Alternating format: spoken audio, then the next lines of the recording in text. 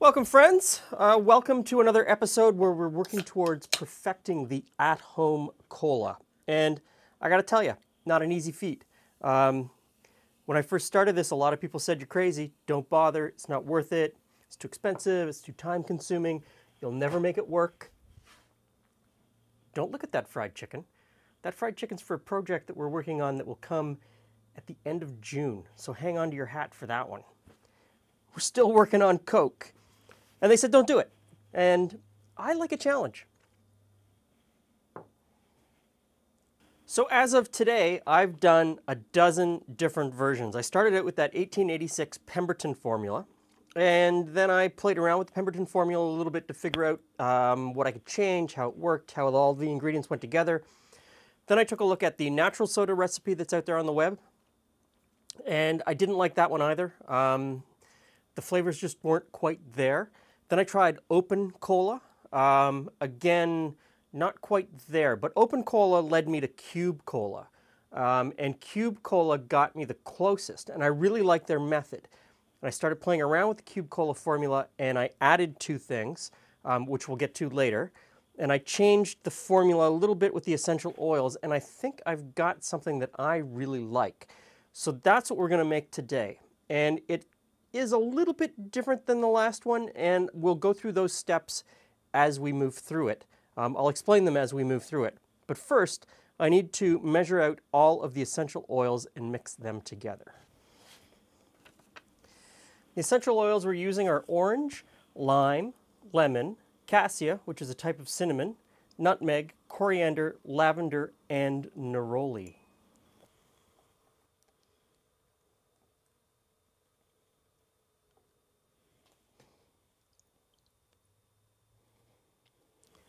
So that's it for the essential oils. Um, the smell in the studio kitchen here is overwhelming. I mean, at this point, I'm starting to get a headache from the smell that this is giving off. I mean, it's, it's quite pleasant, but it's, uh, I wouldn't want to stand around in it too long. So we're going to move on really quickly to the next part. And in the first video, we emulsified or mixed these oils into alcohol in order to mix that into water because oil and water don't mix very well. In this version, we're going to use gum arabic. And of course, you know, probably heard me say it before, you want to use food grade gum arabic. Um, don't get it from the painting store or the art store. You want to make sure you get food grade. So into that, we're going to put some water. And now we need to mix the gum arabic and the water together to make a really nice smooth mixture.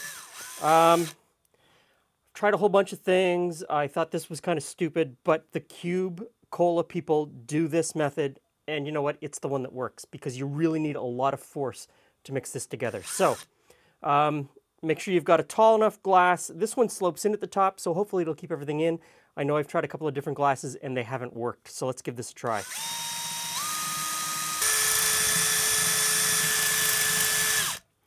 Okay, now this is the point where if you have someone to help you, it would be great because you really should hold this glass while you're slowly dribbling this in. It's kind of like making mayonnaise. Um, slowly put this in, keep the drill working, and let's see what happens.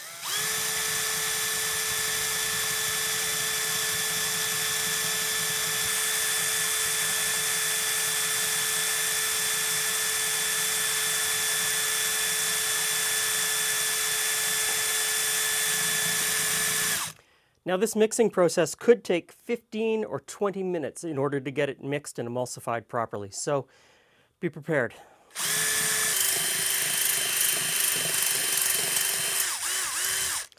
Twenty minutes of power whisking with a whisk attached to a drill, and I think we've got a really good emulsion. Now we move on to the rest of the flavor concentrate. Next thing is I've got some water and I'm going to dissolve citric acid in the water and I need 65 mils of citric acid.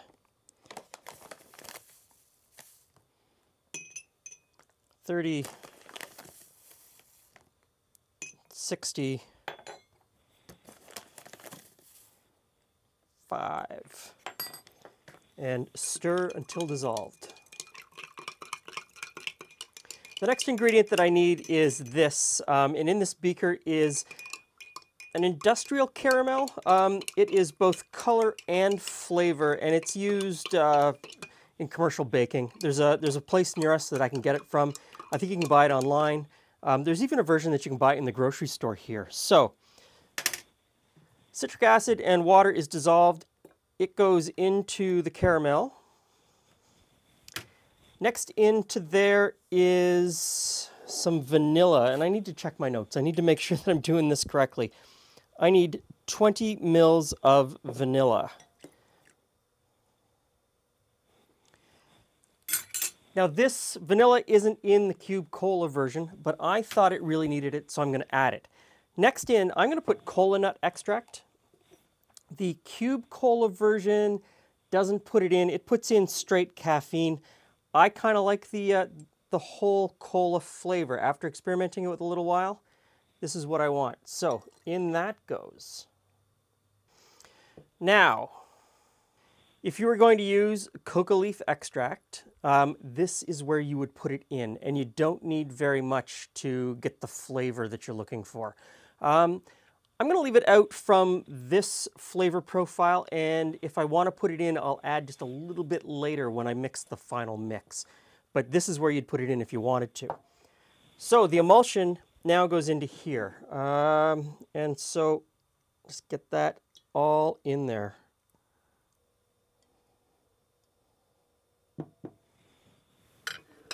And we whisk that in.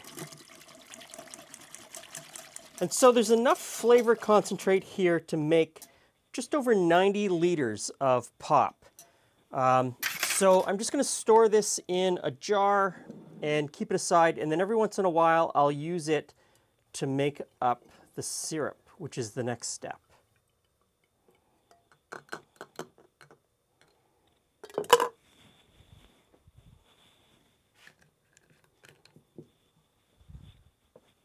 Now the next step is to dissolve all of this sugar in this much water. And it's going to be a long, slow process.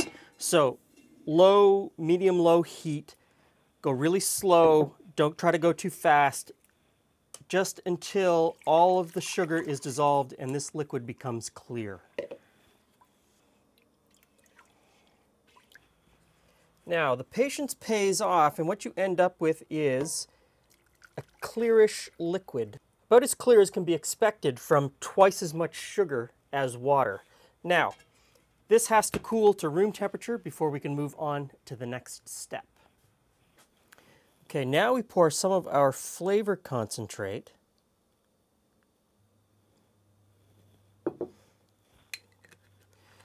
And this flavor concentrate will keep in a dark, cool place for years. Um, years. Now we add that to the syrup and we give that a good stir. Now this amount of syrup will make 14 liters of pop, um, which is what, three and a half or maybe four US gallons of pop. So I'm going to put this into a jug and chill it down completely before we give it a taste. And as well, um, this will keep for years. I mean, it's not going to take you years to drink this probably, but it will keep for years.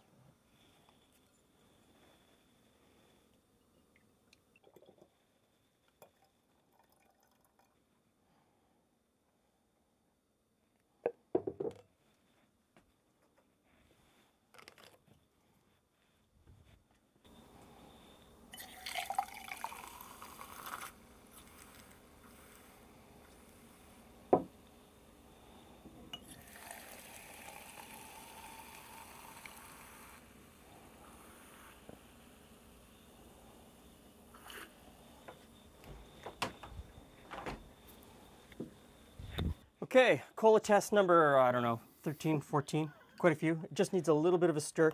Now, when, if this works out, I'll mix it with water and then carbonate it in a keg instead of doing this mix at the end in the glass. Because always carbonating in the, in the keg will be much better. So you tell me that after many versions, this is the version that you like best. I think it's going to be the closest. You've tasted a few. Mm -hmm. Or tested, made a few.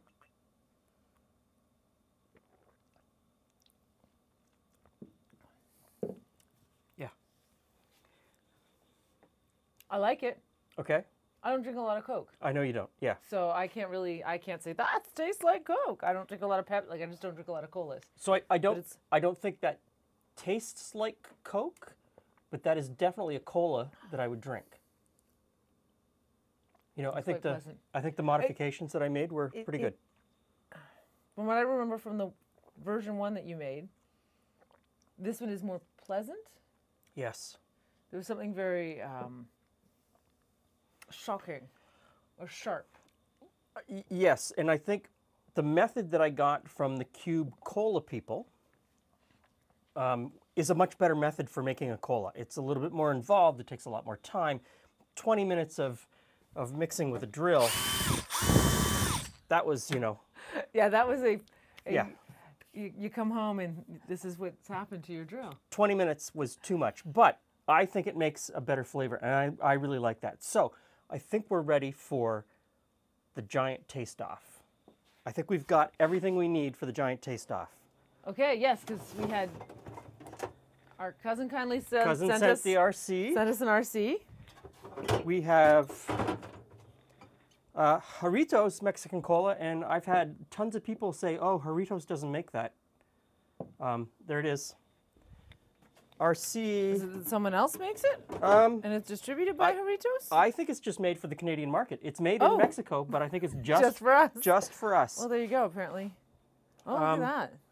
so that's Mexican Pepsi, Jarritos Mexican Cola, Mexican Mex- Coke, RC Cola. You got a bias to uh, where you're buying this. Is that because you could get the little bottles? Oh, you even have a regular cola. We've got a regular Coke that we'll test.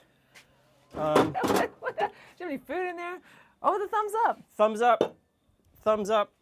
Another classic from around the world. Um, and I, I also have a Canadian Pepsi uh, somewhere in that fridge. So we're going to do the giant taste off. So this giant taste off, I think we'll do in the next couple of days, and it will come out a couple of days after this video lands. Now, this concentrate that's 90, makes up to 90 liters of cola. That's Um, a lot of cola. It's shelf stable. It will keep for years. Just keep it out of the sunlight. The syrup that we mixed up from a little bit of this, um, this syrup will make 14 liters of cola. And again, same sort of thing. This will keep indefinite. There's enough sugar and acid and other stuff in there that it is. As long as you keep it in the dark, It's fine. It'll be fine. there you go. But then, Oh, don't look at the, don't look at the don't look at the chicken. Don't look at the chicken. Have another sip of your pop. Cheers, Jules. I think we nailed it.